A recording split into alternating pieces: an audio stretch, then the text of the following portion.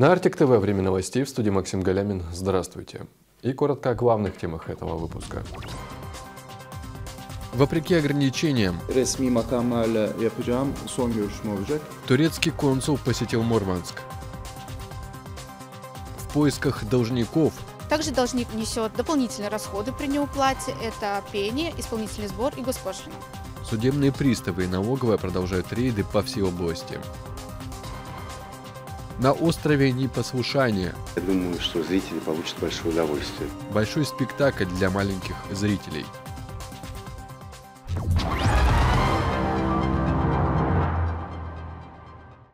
Шойгу поручил довести число контрактников до 695 тысяч человек. Об этом он заявил на расширенном заседании коллегии Минобороны, в котором принял участие и глава государства.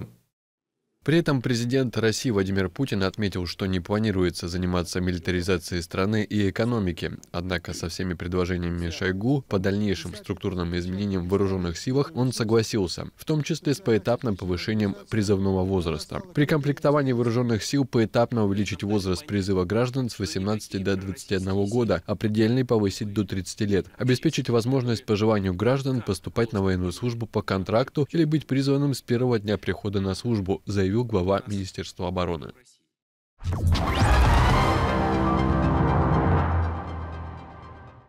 Представители администрации Мурманска провели рабочую встречу с генеральным консулом Турецкой Республики в Санкт-Петербурге. Главный вопрос повестки – развитие новых направлений сотрудничества в сфере рыбохозяйственного комплекса судостроения и туризма.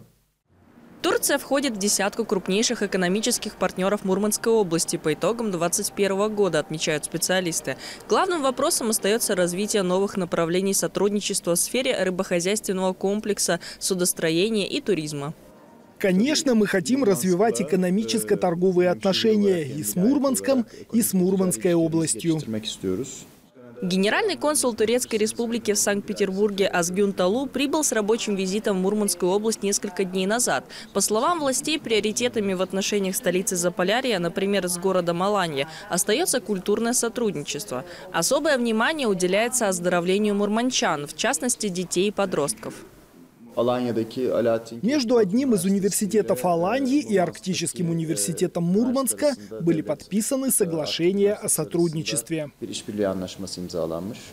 Алания имеет возможности предоставить все условия для организации учебно-тренировочных лагерей для мурманских спортсменов. Не менее важная новость – сотрудничество в сфере туризма. Я знаю, что жители Мурманска, так же как и многие жители России, летом ездят в Турцию. Поэтому наши пляжи, наше солнце, теплое море, они так известны. Но помимо этого в Турции есть еще огромное количество мест, которые необходимо открыть для себя, которые заслуживают этого и стоит работать именно над ними. Встреча с представителями администрации города Мурманска станет для представителя дипмиссии последней рабочей в этой поездке. До этого генконсул обсуждал деловые вопросы с главой региона и министрами областного правительства. Мурманск можно назвать не только промышленным, но и безопасным городом. На территории областного центра военнослужащие морского отряда войск Национальной гвардии завершили комплекс практических тренировок в полевых условиях. По имеющейся информации, территории охраняемого объекта работает диверсионно-разведывательная группа противника. Ориентировочно до трех-четырех человек. Наша задача выдвинуться в район выполнения задачи найти и ликвидировать или задержать членов ДРГ. Для начала бойцам нужно было развернуть и оборудовать лагерь на полигоне. В течение нескольких дней они оттачивали навыки тактической, инженерно-саперной и медицинской подготовки. Занятия завершились учебно-боевой задачей по поиску и обезвреживанию условных преступников. Для выполнения такого рода задач спецназовцы использовали специальные образцы разведывательной техники, чтобы как можно более незаметнее обнаружить диверсантов. Также они отработали различные сценарии обезвреживания противника, в том числе с помощью беспилотника. 15 лет в заботах о нуждающихся. Полярнинский комплексный центр социального обслуживания населения отметил свой юбилей. Ежедневно его специалисты взаимодействуют с пожилыми людьми, инвалидами и детьми, находящимися в трудной жизненной ситуации. Поздравления люди с большим сердцем принимали от партнеров, коллег и друзей. Здесь нет случайных людей, поэтому совершенно не случайно в социальной сфере много лет назад оказалась Елена Прилукова. Начинала нынешний заместитель директора с работы воспитателя в группе для детей, находившейся в тяжелых жизненных обстоятельствах. Далее прошла путь от социального педагога до заведующего отделением для несовершеннолетних, но при этом сумела сохранить те черты характера, которыми обладают истинные добряки. Социальные работники, они должны обладать какими качествами? Доброта, а, сопереживание, да? идти быстро, не раздумывая на помощь. А, и я так думаю, в нашем коллективе остаются люди такие. Приходят, а, приходят, если это не их работа, они уходят, но в основном остаются.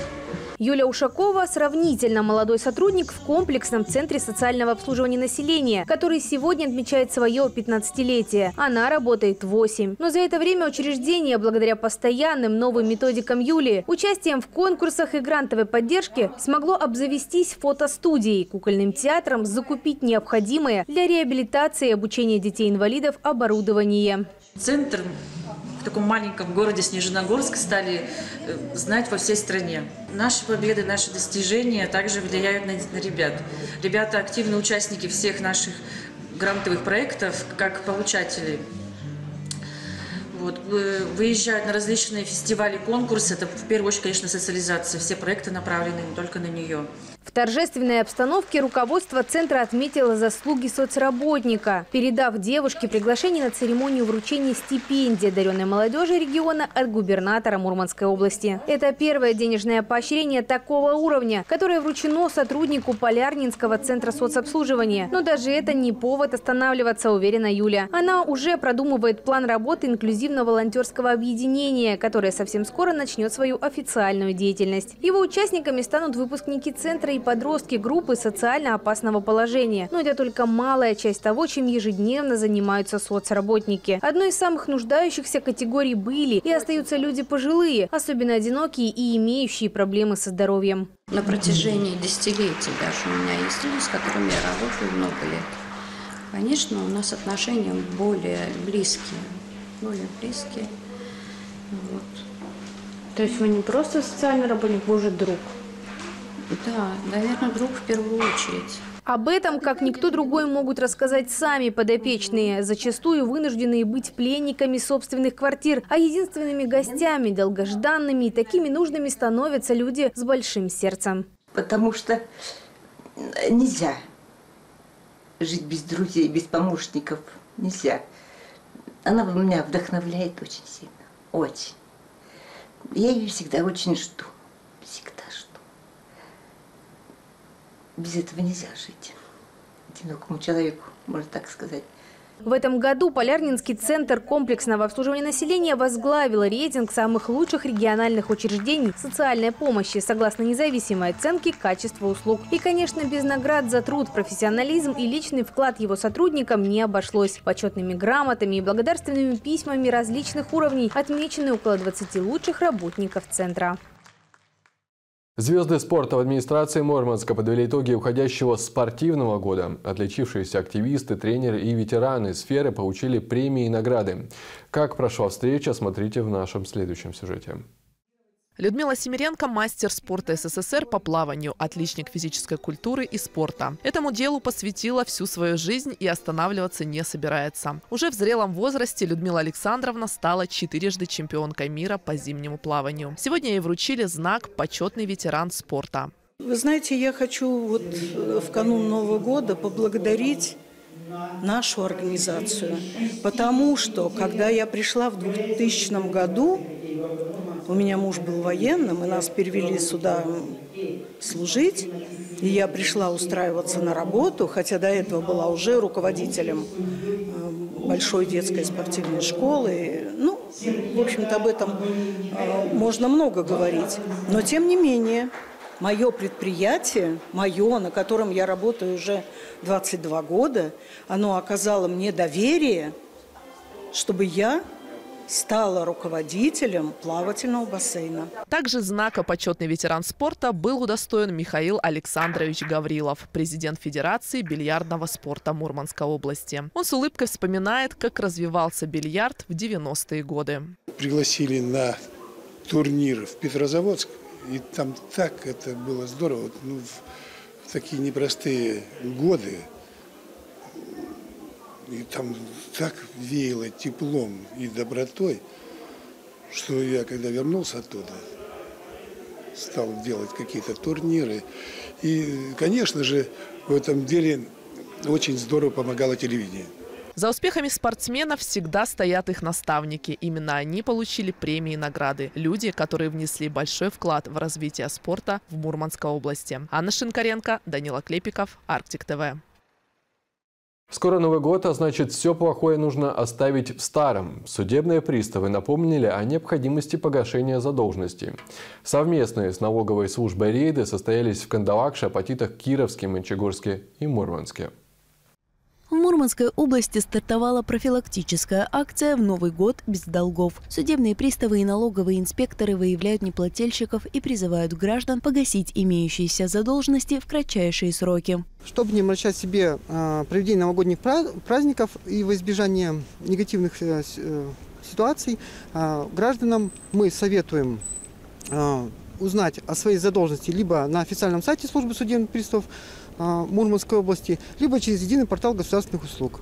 С помощью программного комплекса «Дорожный пристав» можно считать государственный регистрационный знак на автомобиле и проверить в базе, есть ли у владельца транспортного средства задолженность.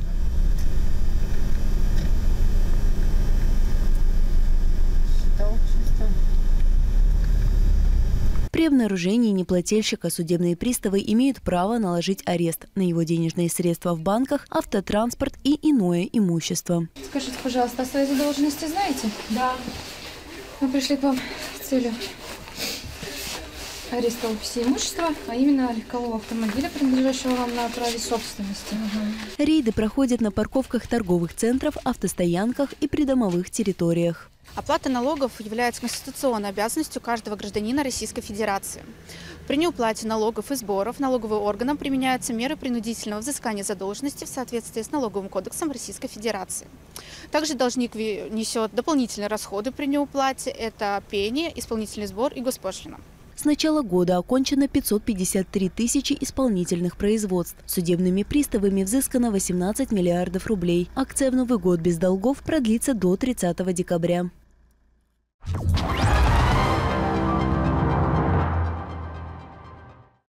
Михаил Мишустин вручил престижную премию правительства в области науки и техники сотрудникам морской арктической геолого-разведочной экспедиции. Награду специалисты получили за разработку и внедрение инновационной цифровой системы морской сейсморазведки «КРАБ». Похожа ли установка на своего живого донного собрата и какие задачи способна решать, расскажет Екатерина Дементьева. Премия правительства Российской Федерации в области науки и техники – это престижная награда, которую присуждают ежегодно за уникальные разработки. В этом году звание лучшего также удостоился проект морской арктической геолого-разведочной экспедиции. Начиная с 2016 года мы начали разрабатывать так называемые донные станции КРАБ, которые позволяют нам с полной точностью определять тот или иной резервуар – углеводородов, позволяет э, мониторить, э, как он меняется в процессе добычи, э, и, соответственно, делать сейсморазведку более детальную, четырехкомпонентную, которая позволяет более точно определять те или иные залежи месторождений. Цифровая система морской сейсморазведки «КРАБ» инновационная и уникальная. Такие устройства лишь недавно начали внедрять в мировую практику.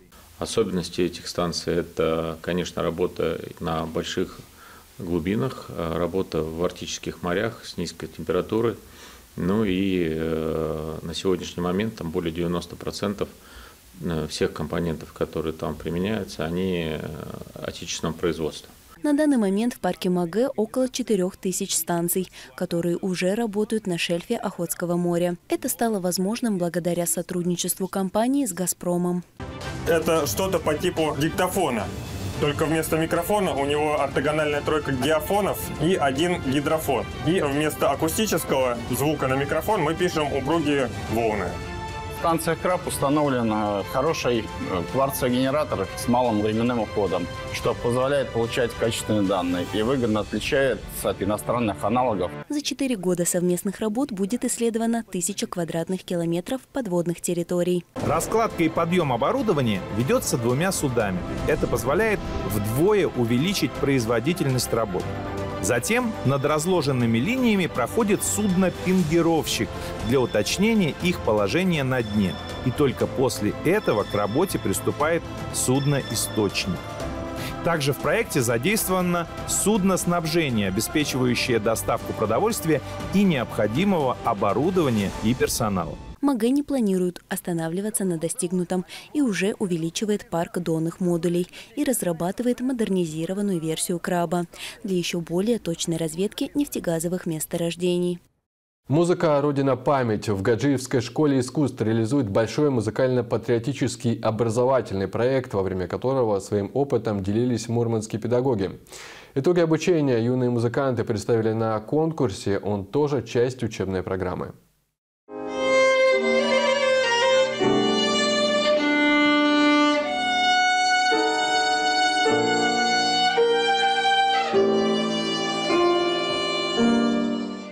Флейта, фортепиано, барабаны и даже мелодика. На чем только не играют в музыкальной семье Павла Федорова. Любовь к инструментам, признается Паша, родилась у него не сразу. В начальной школе парень и близко не подходил ни к клавишным, ни к струнным. Зато теперь осваивает как минимум четыре музыкальных направления. Особая страсть к скрипке. Да не знаю, как-то просто скрипка такой экзотический инструмент. Я его никогда не слышал. И решил просто на нем поиграть. И получилось. Были, конечно, трудные моменты, когда я прям думал, не, ну все, я устал. Но все равно опыт такой в жизни должен. Должен быть. Это даром ничего не пропадет. Мелодии из композиции Баха, которые сегодня исполнил юный музыкант, прозвучали в зале детской школы искусств Гаджиева. Именно здесь состоялся 20-й открытый конкурс инструментальной музыки имени Магомета Гаджиева. Однако это лишь часть большого проекта «Музыка. Родина. Память». Его авторами стали местные педагоги, а музыкальный конкурс – это вторая ступень программы. Первая представляла собой серию мастер-классов для юных музыкантов струнно-смычкового, народного, оркестрово-духового отделений и пианистов от преподавателей из Мурманска. Ну, сами понимаете, что мы живем как бы в отдаленных городах, не у всех есть возможность, не у всех хватает времени выехать в колледж, там, да, допустим, договориться с преподавателями, а здесь получается, что преподаватели сами приезжают к нам. То есть члены жюри, которые у нас сегодня будут в Мурманского колледжа искусств, они как раз и проводили эти мастер-классы, то есть они смогут оценить, что ребенок сделал с ноября месяца вот до сегодняшнего дня.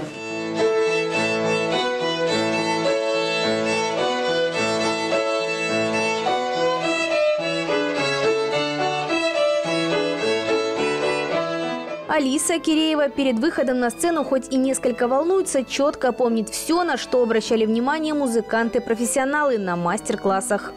Меня обучали там, говорили чуть поярче и э, не бояться ошибок и играть без страха, просто как будто бы ты играешь для себя и там никого нету. Следующей частью реализации проекта, воплощаемого при поддержке президентского фонда культурных инициатив, также станут мастер-классы, но уже и для художественного направления. Для обучающихся приглашены мастера художественного искусства. А в конкурсную программу включат исполнителей сольного пения. В областном драматическом театре состоялся предпоказ музыкальной сказки «Остров непослушания» по мотивам повести Джеймса Барри «Питер Пен». Что ждет юных зрителей, смотрите в сюжете Анны Шинкаренко. Ну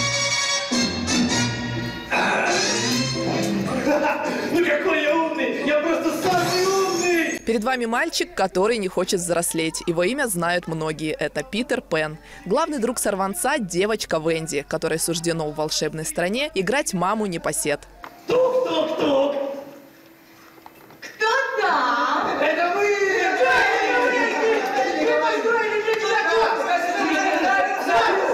Реку! Тетенька Венди, будь нашей мамой! На сцене областного драмтеатра юных зрителей ждет приключения с драками, выстрелами, русалками, полетами и волшебством. Как отмечает один из режиссеров-постановщиков, идея пришла еще года два назад, и сейчас, наконец, удалось ее осуществить. Почему мы все-таки не остановились, допустим, на названии классическом «Питер Пен», а назвали «Остров непослушания»? Потому что здесь главные герои – это дети. Дети, которые играют, которые шалят. И где они это делают? Конечно, в мире их фантазии на острове непослушания. Сказка предлагает пройти всем через испытания и в заключении понять, что главный человек в жизни каждого остается мама. Для меня камертоном всегда является, вот если у меня слезы наворачиваются, значит, вот то, что надо. Вот у меня наворачиваются на этом спектакле слезы, когда вот какие-то грустные моменты, связанные с мамой, с семьей. Вот, поэтому я думаю, что зрители получат большое удовольствие. Режиссеры обещают, что в сказке будет много смеха, музыки и интерактива с детьми. После спектакля Питер Пен и Венди пригласят зрителей в фойе театра для встречи Нового года. Юных северян ждут персонажи спектакля, подарки и Дед Мороз. Премьера состоится в пятницу 23 декабря. Анна Шинкаренко, Данила Клепиков, Арктик ТВ.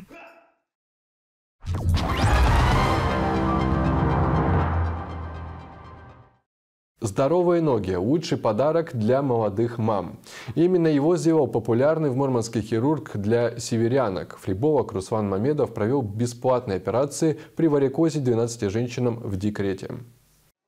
12 мам из Мурманской области стали счастливыми обладательницами здоровых ног. Получили девушки такой шанс благодаря конкурсу, проведенному флебологом Русланом Мамедовым в клинике «Доктор Север». Впервые знаменитый врач устроил такую акцию, как подарок на Новый год. В целом беременность она довольно негативно сказывается на венке, потому что нагрузка на организм довольно большая и может спровоцировать появление варикоза, даже у тех, у кого его не было.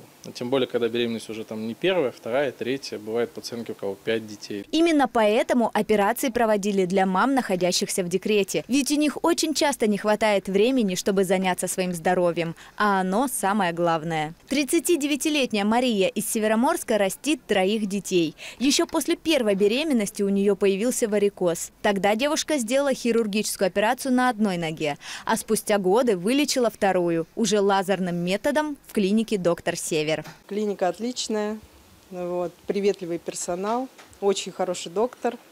Вот, э, Желаю только им развития на самом деле. Современный лазерный метод лечения, которым владеет доктор Мамедов, позволяет проводить операцию очень быстро, максимум за час, без наркоза и, главное, разрезов. А это значит, что сразу после лечения пациентки на своих уже здоровых ногах уходят домой. Никаких болевых ощущений, а, замечательный доктор, который поддерживает тебя на протяжении всей операции, общается с тобой, предупреждает тебя о всех манипуляциях. То есть все доступно, все подробно. Вообще супер. Благодарна я Руслану Ильдаровичу за проведенную операцию и за шанс э, быть с новой ножкой. Варикоз не приговор. Почувствовать вновь легкость в ногах, увидеть их красивое отражение в зеркале всегда помогут опытные врачи в клинике «Доктор Север». А их главный врач Руслан Мамедов напоминает молодым мамам, что проходить обследование у флеболога нужно раз в год. И на этом у нас все. Больше новостей смотрите на нашем сайте articdefistv.rf и в официальной группе телеканала в социальной сети ВКонтакте. Далее вас ждет прогноз погоды, я же с вами прощаюсь. Всего доброго и до встречи.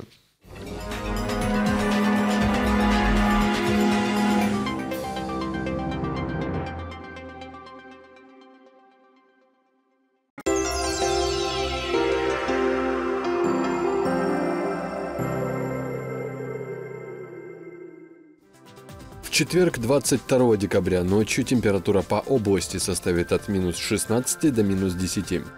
Днем в Мурманске и Североморске минус 9, ветер восточный до 2 метров в секунду, небольшой снег. В Никеле минус 7, в Мочегорске минус 9, в Апатитах и Ковдоре также 9 градусов ниже 0. В Кандалакше полярных зорях 8 градусов со знаком минус.